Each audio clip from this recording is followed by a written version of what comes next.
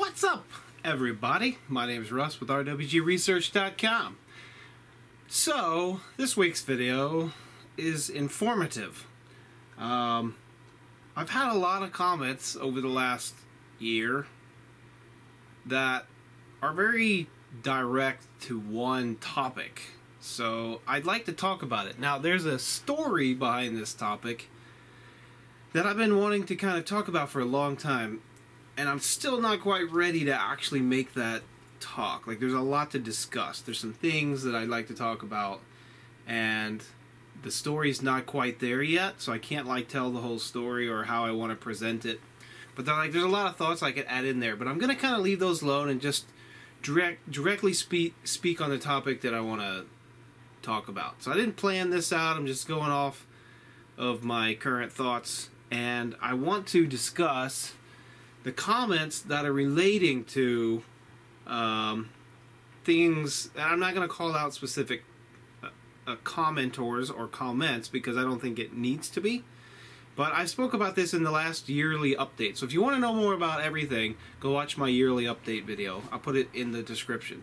That will help you understand everything you need to know. But I'm going to make this video specifically on this topic so I can direct people here when they have a comment. So the comments that I get are relating my alternative energy research, Stanley Meyer research, Papp noble gas engine research, Rodin coil research, the Newman research, the entire like overview of the alternative alternative energy research stuff. Okay, if you look, all right, right above here, there's a bunch of totes, and if you look at the names on them, okay, you'll see that they live right there behind me. And one day I'll get back to the things in those boxes. Um, so the question that always comes up is, do you are you working on this? Do you believe in this? What happened to Stanley Meyer? What happened to this? Like, where are you at? Right. So I'm just going to give you my quick uh, overview thought of that question. I'm going to try to answer that question in in a in a way that's not too terribly long. The answer to that question is where is all of that and where does it stand, which I've again answered in the yearly video. Pretty pretty I talked about it there. Basically, I have other priorities and I have to take care of those first. That's that's the gist of it. I've got family, they're all uh, all my kids that are a certain age and I need to be able to like take care of their needs, their wants and spend time with them. That is difficult because I've been working a lot of hours and doing multiple things, trying to be entrepreneurial and do new stuff and help people out and build a, uh, a thing that I'm trying to work on. Like there's a whole bunch behind the scenes that I don't, and some of it sits here and lives on the bench I've been working on. I don't really speak about because it's not priority and it's not necessary, and I I'm not ready for all that. So you know the answer to the question of like where is all your open source research did you give up do you care uh, I've had people I've had people put words in my mouth that I just like quit believing or I don't think it's whatever. And It's like, well, first of all, if you're gonna leave a comment, uh, speak only words that you've heard me speak. Don't speak for me. So if somebody leaves a comment like, uh, "What happened to Stanley Meyer's research?"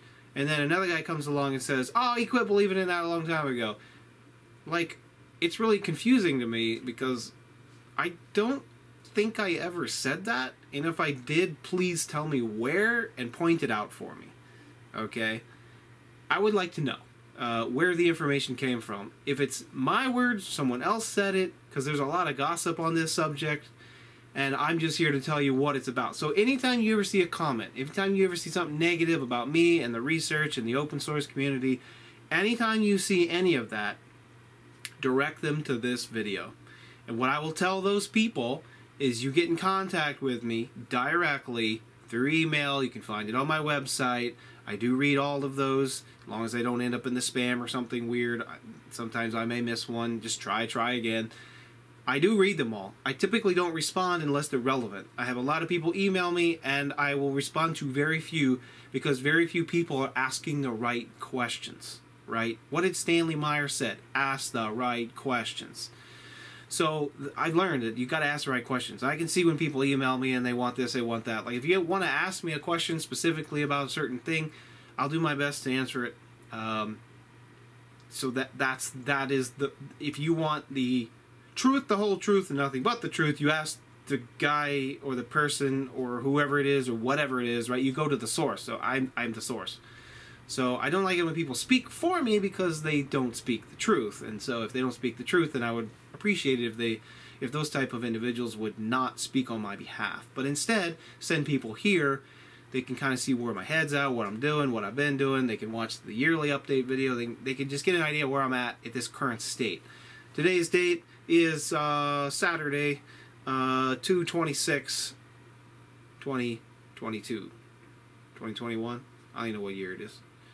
It's, uh, that's hilarious. My watch actually doesn't have the year on it. Anyway, 2021. So, yeah, so send people here and let them listen to this video. So, I'll answer a few questions. Did I quit believing? Um, that is actually a tricky question. I still believe that there is an alternative energy source and that we can create uh, the result that we're looking for. And so I worded that very particularly because the result I'm looking for is different than the result you're looking for uh, or someone else is looking for. Uh, the result I am looking for is a source, right, of energy extracted from somewhere else. Right, there is no free lunch. The, the, the conservation of energy is real, but you can extract energy from something, right? Even though it looks like it's coming from nothing. So when people say you can't extract energy from nothing, well, they're they're right. You you can't. Energy is only exchanged, right? It's only moving around constantly. But if you disrupt that flow of energy from one uh, higher state of energy to a lower state of energy, you can use that potential difference to do work. That's the answer I'm looking for. So how do I create that, right? And uh, and yes, I'm still working on things, but I'm not focusing on them right now. As I talk to my yearly update, I'm focusing on other things. Go watch that video if you want to know more. So again, I'm still interested. The website's still up. The opensourceenergy.org is still up. Thank you to the anonymous individual who is keeping that thing alive and the few who are still moderating it. It's a big deal. And I haven't been there in a while because I don't have the time. Uh, but I appreciate those individuals and um, thank you. It means a lot. Um, I try to do what I can when I can, but in the meantime, those individuals are taking care of it. One one day it may die and blow up and disappear. I'll do my best to save it and keep it going. But uh, to be honest, there is a group of individuals who have kept that thing going. There's a group of individuals on the Facebook group, which I don't even look at because I don't use Facebook. But there is a group on Facebook that is related to these topics, and they're still going. And thanks to those individuals, right? No names, they're all anonymous. You guys know who you are. I am greatly appreciative of everything that you guys have do have have done and are doing and continue to do. Because one day I'm going to find some time. I'm going to get back into it and I'm going to be directly focusing on starting topic for me is Mr. Newman. I still have work to do there. I still have a lot of things I learned, a lot of very interesting things I want to finish, and a lot of really cool ideas I've been jotting down over the years that I haven't been able to work on it. So for those of you who say, "Oh, yeah, Russ just gave up. He doesn't believe anymore. He don't think it," I never said that. And if I did say that, please point out where I said that. Okay, there is a lot of discussion that could be said around that, and that story is not finished. So I'm not going to tell you that story. Um, it's the whole story from the beginning till now. That whole story is still progressing, but there are some things that changed over the last couple years that made me think differently. But I never once said anywhere, and I never told anyone that I don't believe that that whole method of what we're trying to do is just something I don't believe in. I didn't ever say that. So I believe there is a method to the description I just said a second ago that will be successful and that can be used for these applications. And that is what I want to do. I want to focus on those things. Um, I just can't do it right now. Uh, right now, I've actually been enjoying the hobby of flying RC airplanes. Um, for those of you who didn't see this in the last video, because you're not paying attention,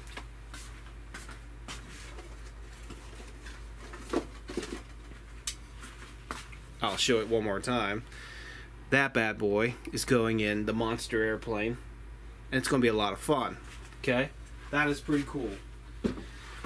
So, the kids and I like to do this. It's a hobby. So I'm spending time with my family doing a hobby that I enjoy, that I've always wanted to do since a kid, but now I get to do it with my kids as a big kid, and I am enjoying it because now I actually have a tiny bit of money I can put here or there. To be fair, most everything I bought in here, I probably spent less than. I'd say in the last year I spent less than 500 bucks on the total hobby just using random crap buying junk from people giving me stuff and rebuilding things. That's actually the biggest single investment I've made yet and I bought that for half price from a guy at the airfield. So I, I can't spend money on the hobby because I don't have it. But I'm just saying I've been doing, doing stuff with my kids. So anyway enough about that. Listen if you don't hear from me then you didn't hear it because I'm the only one who can speak the truth about me right I know what I did. I know what I believe. I know what I can do. I know what I want to do. I know what I'm able to do. And I know all of those things that no one else can speak about unless I say them. So ask me, right? I go out of my way to call people that are being negative about me to just talk to those individuals just to have the conversation of clarity. Because if they think one thing and I say another, then that doesn't work out. But if I can talk to them directly and then they go away and still say the same thing that I didn't say, I can't help them. Only God can help them, right? And that has happened before. So I, I, I do my due diligence to be just real, be honest, right? I am a real individual. I'm just Russ. Everybody who has met me in person has told me, wow, you're just like the guy on your videos. Like, well, what did you expect? I don't put a front up, right? There's a comment on the last video that they thought the whole thing was like staged, and I don't even know what specifics they were talking about, but I literally responded to that comment with, I am confused. I don't understand these type of comments.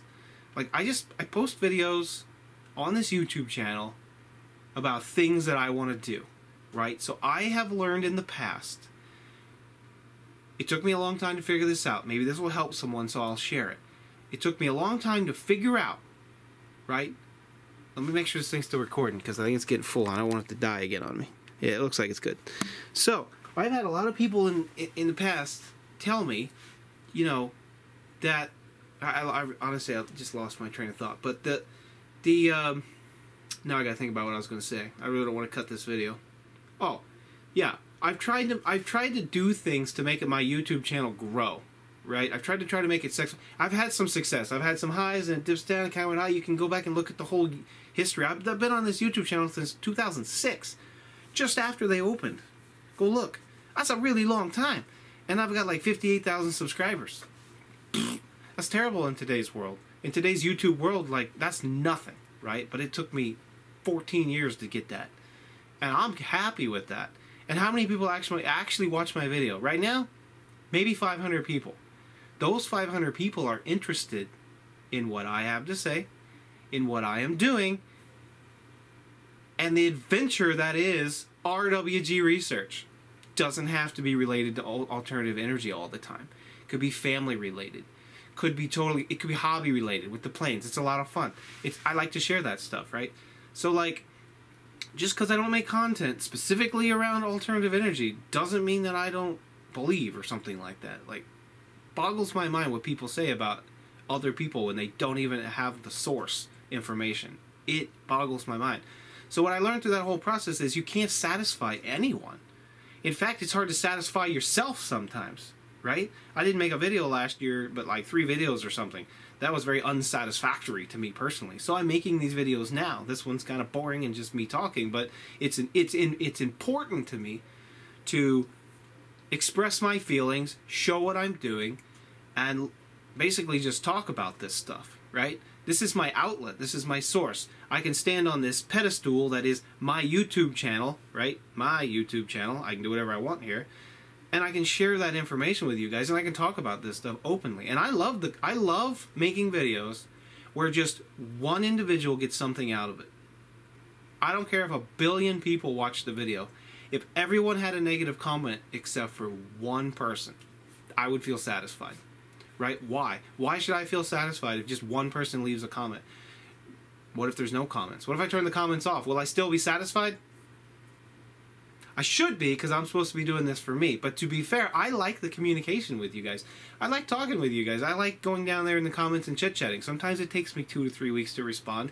That's because I sit down uh, on a whatever Sunday night or whatever, you know, ten o'clock at night, and I reply to comments. You know, whatever the case may be, Saturday afternoon, whenever I get a free moment. Sometimes when I'm drinking coffee in the morning on Sunday or something, I I I respond to comments when I want to sit down and communicate and have that conversation. So a lot of people can't grasp that, right? They can't grasp that, well, they didn't respond right away. No, I don't have that kind of time. I do this for fun. I do this for me.